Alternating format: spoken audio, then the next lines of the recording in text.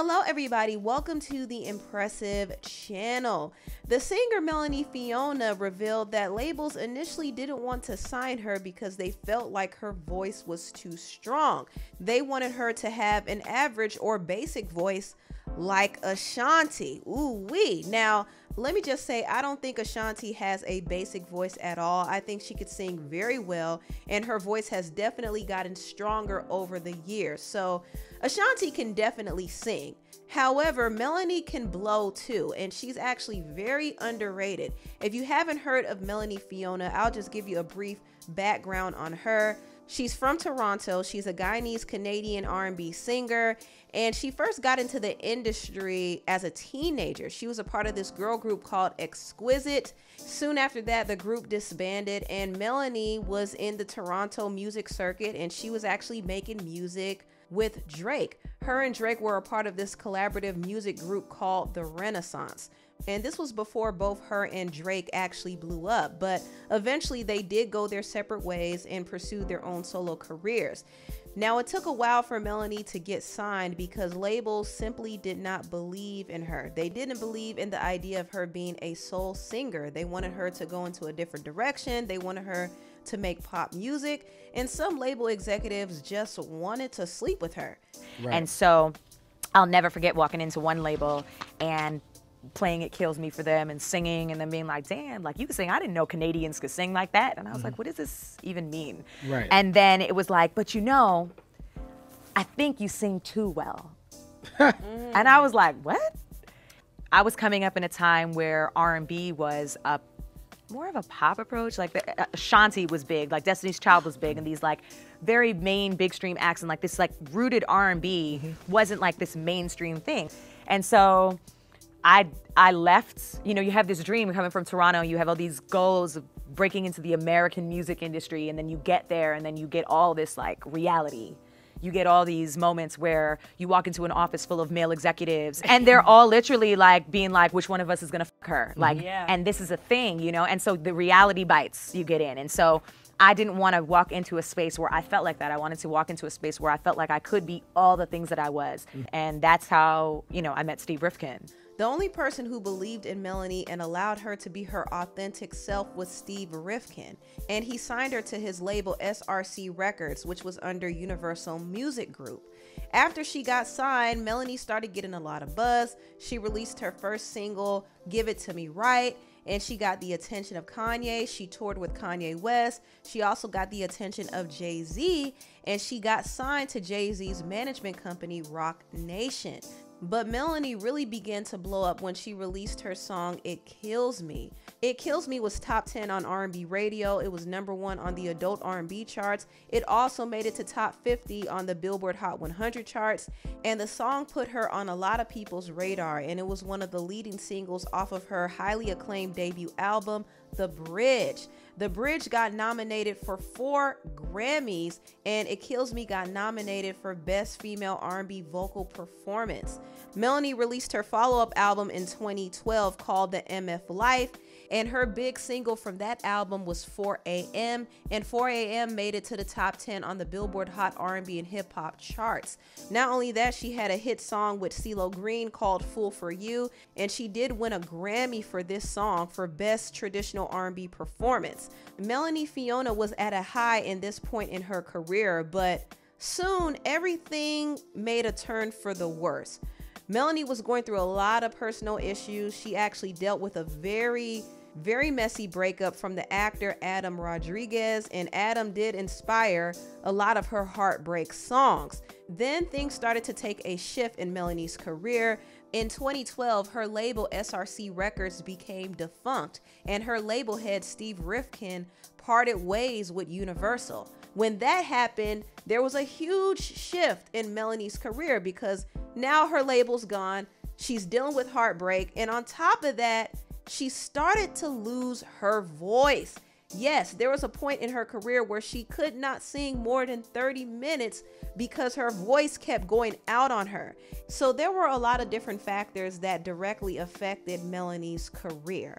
You do get a lot of no's and you get frustrated, and at times my soul has felt compromised and my energy has been depleted, and I literally am just like, this this is just not the way I envisioned me feeling about my career at this point with my love of music and how I know I want it to be and it's not the way that I want it to be and like there's been times when I've just like said it like maybe it's over I was experiencing difficulties with my singing, and that was something I had never experienced. I was singing for maybe 30 minutes and then going hoarse. And I was just thinking there was something wrong with my voice. I kept going to see doctors and specialists, and they all kept telling me your vocal cords in perfect condition. We don't, we don't really know what it what it is. And it was one doctor that said to me, "What's your year been like?" And I said, wow, it's an interesting question because my year has been filled with a lot of highs and lows. And when this specialist told this to me, it really opened my eyes to say, hey, like, what is going on? Maybe, maybe I am holding, and he says, maybe you are holding this heartbreak that you're carrying. Maybe you are holding this pain or this disappointment that you're feeling in your throat. And I went for Reiki, which is an is a form of mm-hmm. Eastern medicine and energy healing. And I was able to have relief after three mm. sessions of acupuncture, and I cried and I had a physical reaction on this table. I went on tour. I had an amazing time. I toured for six weeks with no vocal issues at all. And that was really the moment where I knew that I st- that I was like, okay, positive, positive, keep everything positive, keep this momentum going, keep this momentum going. After Melanie's vocal cords got healed, she became a huge advocate for health and wellness and she continued to sing. She went independent after her label ended, and she also cut ties with Roc Nation in 2014. Today, Melanie has her own business, Melly Belly Mamas, and she sells crystals. And she's also a co host on the Mama Den podcast. She's also a mother and a wife to the songwriter and manager and co founder of the heavy group, Jared Cotter. So that's kind of a brief overview on Melanie Fiona's career. Now, I want to get into her latest interview. She recently sat down with Amanda Seales on her podcast, Small Doses, and she once again talked about how difficult her start was in the industry and how people weren't interested in her being a singer. They weren't interested in real singers. And she brought up Ashanti as an example. I remember coming in and I remember wanting to sing records. I wanted to sing R&B records. I grew up listening to the Whitney Houstons of the world, the Lauryn Hills, the Brandys, wanting to sing R&B ballads. You know what I mean? Like that's how I grew up. And then coming down here and then people saying, "Oh, well like you're cute and you the, and you you sure you don't want to do like this type of music and like what? You know, like pop it up. Like pop it up and and poke it out and, and sex it up and dumb it down. I remember going into record labels and people saying nobody wants to hear anyone sing that well. What? Uh huh. Yeah. I was told I Wait, sang. nobody yeah. wants to hear anyone sing that that well, well? right now in that in that time of music. But who was out at that time of music? I mean, like, and it's no shade to anyone else. Like, I mean, Ashanti was the huge pop like R and B artist of that time, and like mm-hmm. the music was more hip hop driven. It was more pop driven, and you know i was in here trying to be like can i sing like whitney houston off the top of a mountain right now? Like yeah shanti was and shanti ain't singing can you whitney. give me. a bridge? Um it was you know it, it was a thing. And so i remember going into meetings and people being like you're beautiful you're young like nobody wants to hear you sing that well or speak that well. I remember back with with it kills me I took that song to so many record labels, and so many record labels were like, wow, this, I mean, you can sing but we're gonna pass. And it was like, oh, but I don't get it. Like, if it's so good, right? Why don't you jump at this? Like, if you don't see, did they ever say why they were passing?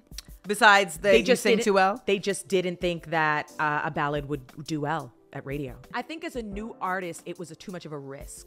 Now, this right here was a very interesting discussion. When Melanie was trying to get signed, she was actually shopping her music around to different record labels, and she said she was doing this around 2007, 2008. And I thought it was interesting that she mentioned Ashanti because around this time, Ashanti was actually past her peak success. She did have a hit called The Way I Love You, but for the most part, she was past her peak. So I thought it was interesting that she brought up Ashanti. And of course, it could be looked at in a negative way. It could seem like she was insinuating that Ashanti can't sing. I don't think that's what she was trying to say. I think she was trying to say the labels wanted a particular sound. Ashanti could definitely sing, but she has a lighter voice, whereas Melanie Fiona's voice is fuller, it's stronger. And that wasn't really common to hear around that time. Even singers like Beyonce, who has an amazing, powerful voice, kind of had to put herself in a box that was more marketable and pop friendly. And you had a lot of singers who had lighter voices like Ciara, Rihanna, Cassie, and Keri Hilson who were being heavily pushed and they were making more pop-based R&B music. And Melanie was making completely different music. The sound was more retro, more soulful.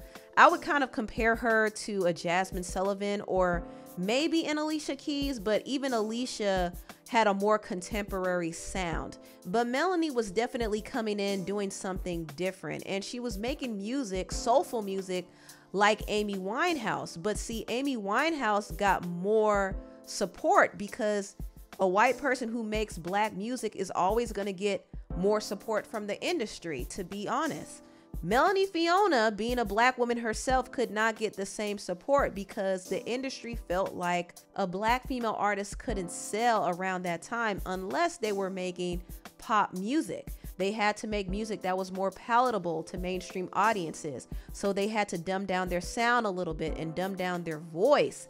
This is one of the reasons why Jennifer Hudson probably couldn't break through on the music market. Even though she had a lot of success from Dreamgirls, people weren't connecting with her music. And some people felt like her voice was too powerful and strong.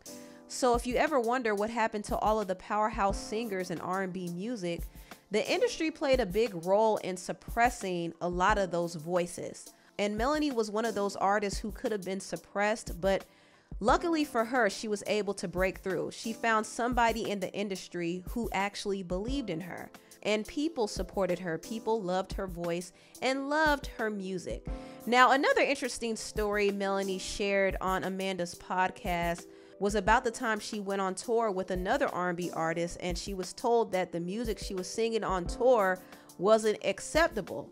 I too remember doing a tour and I was on tour and with another R&B artist who was definitely established more in the R&B space. Mm-hmm. And I came out and I remember doing my songs off my first album and I would do Rock Steady as I would do two covers in the show. One was Rock Steady mm-hmm. by Aretha Franklin and mm-hmm. the other was Ironic by Alanis Morissette. Okay. And it, don't you think? And the audience loved this.